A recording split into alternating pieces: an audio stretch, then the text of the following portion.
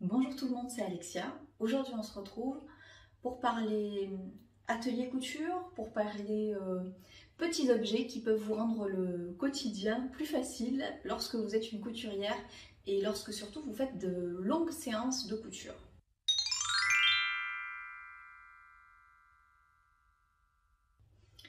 La première chose dont je voulais vous parler absolument, c'est cet objet que j'ai entre les mains. Cet objet, c'est ma baguette magique. Euh, il s'agit en fait tout simplement d'un outil de ramassage aimanté, euh, d'une tige magnétique à trappe-vis. J'ai cherché en fait comment ça s'appelait sur le net pour que si ça vous intéresse vous puissiez aller chercher. Euh, moi c'est mon beau-père qui me l'a offert parce que je fais toujours tout tomber.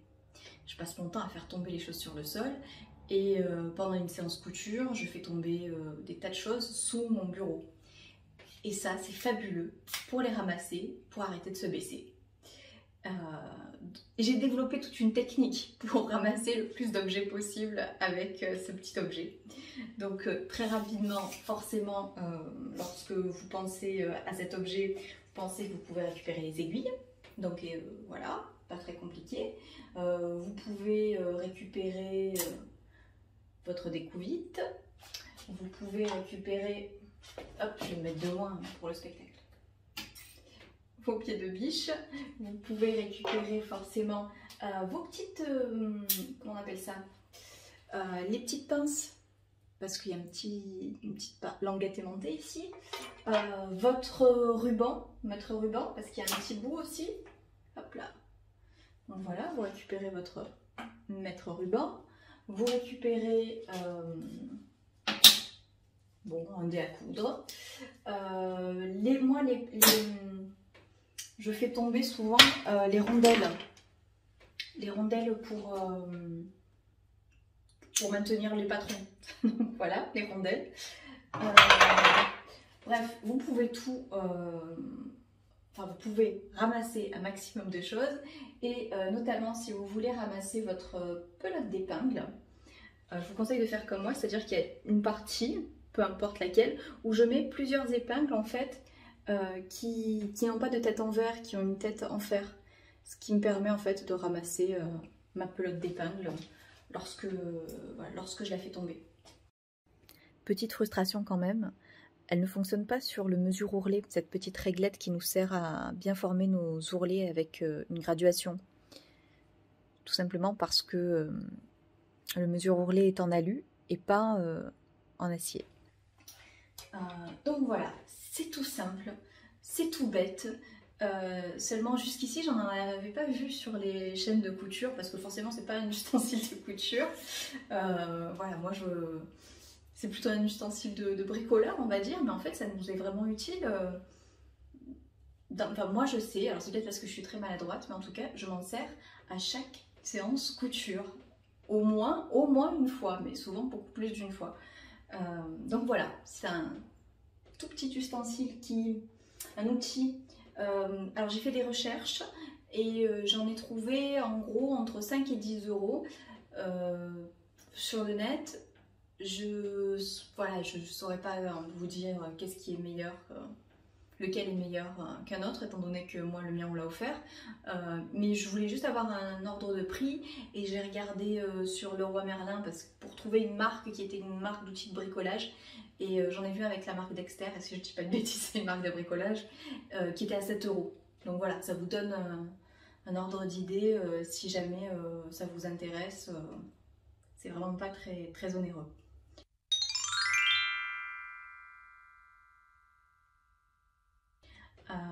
Ensuite, toujours euh, pour euh, améliorer ma position et pour faire en sorte d'avoir des séances de couture les plus agréables possibles, je vais vous présenter quelque chose qu'on m'a fabriqué en fait.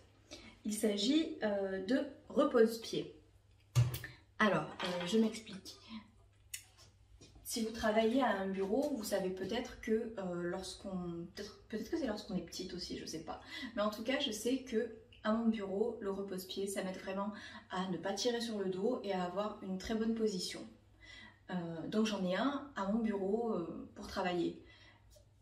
Et lorsque j'ai commencé la couture, en fait, j'ai ressenti le besoin de prendre mon repose-pied et de poser ma pédale de machine dessus pour avoir euh, vraiment la bonne position, pour pas que ça tire voilà, en bas du dos.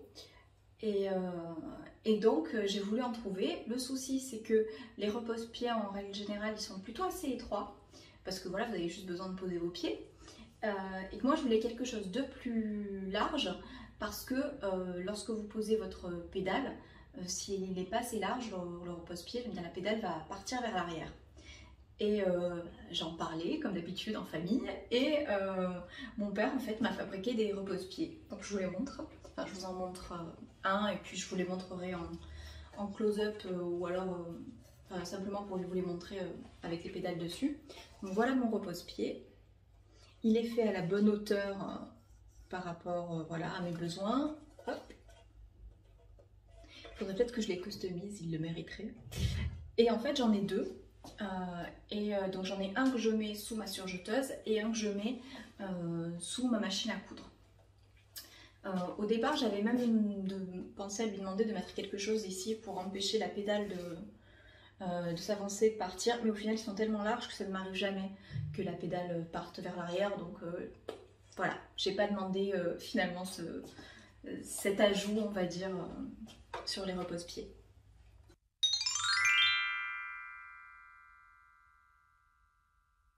Enfin, la dernière chose dont je voulais parler, euh, c'était une, c'est une chose en fait qui m'a été directement inspirée par Péroline de la chaîne Le Coin de Perrault. Je te fais un coucou si tu passes par là. dans sa, je crois que c'est sa dernière vidéo. Hein ou alors son avant-dernière si elle en sort une euh, entre-temps. Elle parle de son rangement de tissu et de son organisation en couture. Et elle, euh, elle nous montre notamment son tableau en liège euh, qu'elle a acheté pour organiser ses différents projets par saison. Je crois qu'on a été nombreuses à avoir envie de faire exactement la même chose. Moi j'ai de la chance, j'ai un tableau en liège et j'ai une pièce qui est dédiée. Ça peut poser problème de pouvoir percer le mur, de voilà, de, garder quelque chose en permanence. Et euh, je me suis souvenue en fait de quelque chose que je faisais euh, lorsque je n'habitais pas encore euh, ici. Et je me suis dit que ça pourrait intéresser certaines d'entre vous si vous avez envie de faire ce même travail d'organisation en étant debout dans l'espace, en collant vos morceaux de tissu, en collant vos patrons sur une surface, et qu'en même temps, bien, un, vous ne pouviez pas faire des trous au mur, euh, deux, euh, peut-être vous ne pouviez pas laisser euh, un panneau en permanence au même endroit, surtout si vous faites ça dans, la salle à manger. Et trois, peut-être aussi que vous aviez envie de pouvoir changer de tableau en gros sans perdre ce que vous aviez fait. Si vous êtes dans ce cas-là, ce que j'avais envie de vous montrer, c'est un système composé en fait d'une grande feuille un peu épaisse. Celle que je vous montre en fait, c'est une feuille cartonnée euh, gaufrée à l'arrière que j'avais acheté chez Cultura. Mais je suis pas persuadée que le fait qu'elle soit gaufrée soit absolument indispensable. Ce qu'il faut par contre, c'est qu'elle ne soit pas trop fine. Après réflexion, je pense même qu'il est préférable que la feuille ne soit pas gaufrée, parce que le fait qu'elle soit gaufrée, ça, empêche la pâte à fixe euh, d'adhérer euh, totalement à la feuille et ensuite au mur. Donc je pense qu'une feuille un tout petit peu épaisse pour éviter que la colle transperce euh, bah, la feuille tout simplement, ce sera euh, amplement suffisant. Euh, je vous montrerai sur la vidéo. Cette grande feuille-là, ce grand tableau, je l'ai ensuite fixé à un pan de mur. Vous pouvez le fixer un petit peu partout grâce à de la pâte à fixe, tout simplement. Donc ça c'est pas mal parce qu'au moins vous pouvez fixer, enlever, vous pouvez le mettre où vous voulez aussi. Sur la vidéo, je n'ai pas mis suffisamment de pâte à fixe. Euh, avec euh, cette quantité-là de pâte à fixe, ça a tenu une journée complète, mais le lendemain, lorsque je suis revenue, euh, la feuille était tombée. Donc j'ai refait un test, cette fois-ci en mettant plus de pâte à fixe au dos de la feuille, et là ça a tenu sans problème. Je pense encore une fois que c'était dû euh, à l'aspect gaufré quand même de la feuille, euh, surtout en sachant qu'il existe de la pâte à fixe qui vous permet de tenir des objets assez lourds. Donc euh, vraiment je pense que ça fonctionne sur les murs normaux et avec des feuilles plus classiques. Ensuite, moi j'avais pris une autre feuille par-dessus plus fine parce que en fait euh, le carton jaune je le laissais en permanence collé contre mon mur parce que j'avais quand même la chance d'avoir un bureau. Euh, en revanche je voulais pouvoir faire euh, différents, on va dire, on va appeler ça des tableaux d'inspiration, je voulais pouvoir faire différents tableaux d'inspiration. Et donc ce que j'avais fait c'est que j'avais pris une feuille beaucoup plus fine, limite qui ressemble un peu à du papier à patron, à peine un peu plus épaisse. je pense que j'avais dû prendre ça chez Cultura aussi. Et donc je l'ai fixé toujours avec de la pâte à fixe, sur mon support en carton jaune. Ensuite, j'ai utilisé euh, ceci, qui est en fait euh, de la colle repositionnable. Peut-être essayer de, prendre une photo en, position inversée pour que vous puissiez voir. Cette colle en fait repositionnable, vous allez l'appliquer en couche euh, fine sur toute votre surface sur toute votre surface, donc votre carton, votre feuille blanche. Et ensuite, vous allez pouvoir très facilement euh, coller les feuilles, mais ensuite les décoller et puis les recoller à notre endroit. Vous allez pouvoir coller des échantillons de tissu euh, et ensuite les recoller ailleurs. Donc ça va être assez facile si vous voulez de créer votre tableau d'inspiration, mais ensuite ça va être très facile de l'enlever.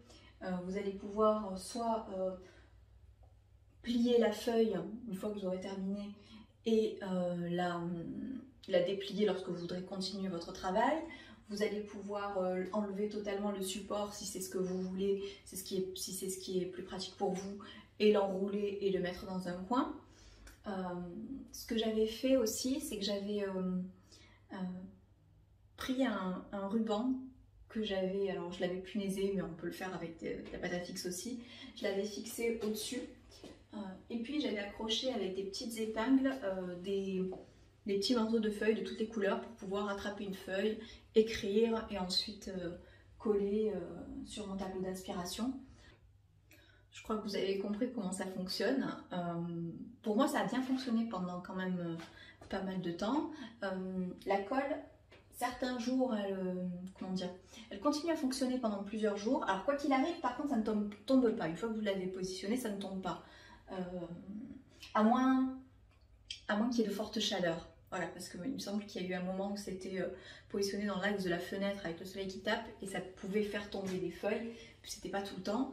Euh, mais par contre, au bout d'un certain temps, le côté repositionnable de la colle arrête de fonctionner et donc il faut repasser un petit coup de spray.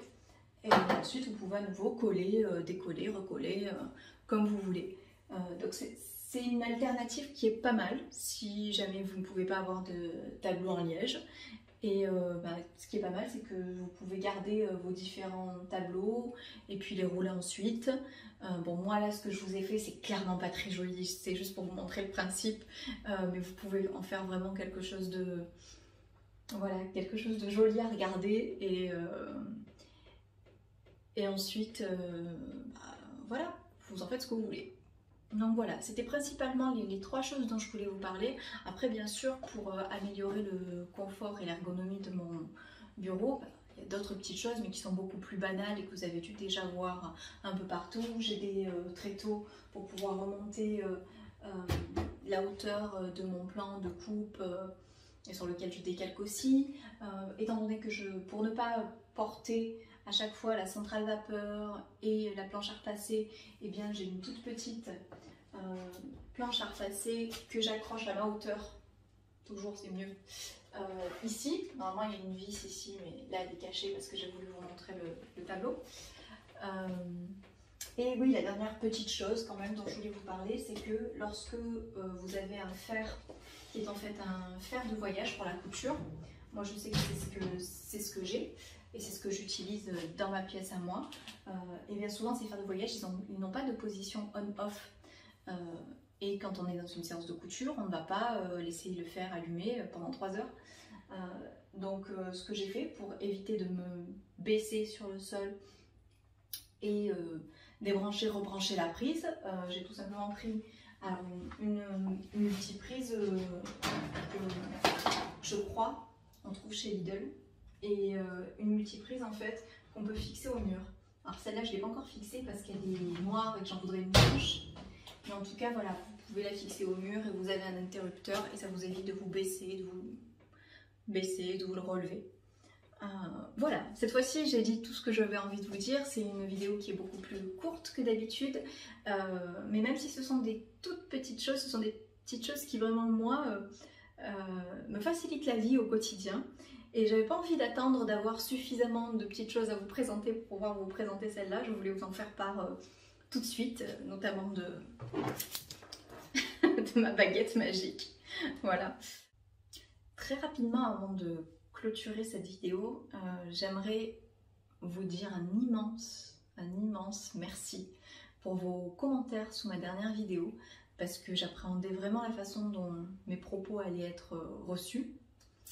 Et, euh, et voilà, j'ai eu vraiment euh, des échanges euh, passionnants qui m'ont donné encore des idées, où je me suis dit oui, bien sûr, ça j'aurais pu le dire aussi, j'aurais pu le formuler de telle ou telle autre manière. Bref, ça a été des échanges très riches et qui font du bien. Donc voilà, je voulais vraiment vous remercier pour, pour vos mots, pour le temps que vous avez passé à m'écrire et pour bah, l'accueil que vous avez réservé à cette vidéo, puisque les gens qu'elle a touchés, en tout cas, euh, l'ont appréciée et c'est ça, ça qui est important. J'espère que cette vidéo vous aura plu, vous aurez appris quelques petites choses, euh, que vous aurez trouvé simplement quelques petites choses intéressantes qui pourraient vous faciliter la vie à vous aussi. Euh, je vous souhaite de très bons moments de couture et je vous dis à bientôt.